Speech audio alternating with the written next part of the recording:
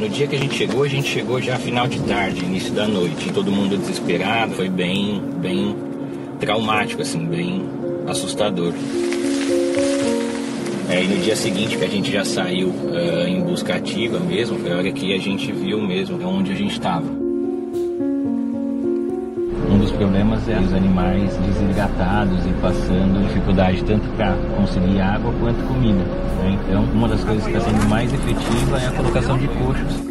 Todas as frutas que a gente colocou, eles comeram. Olha, a casca, até a casca. Os animais estão vindo, estão bebendo, a hora que a gente volta para repor, tem pegada de tudo quanto é bicho, felino, mal pelada, pati, viado, tudo no mesmo coxo. A gente está falando de um bioma que tem uma das maiores diversidades de espécies do mundo e não ter um, um centro aqui, um, não ter um CETAS, não ter um, um, um centro de, de atendimento de silvestres.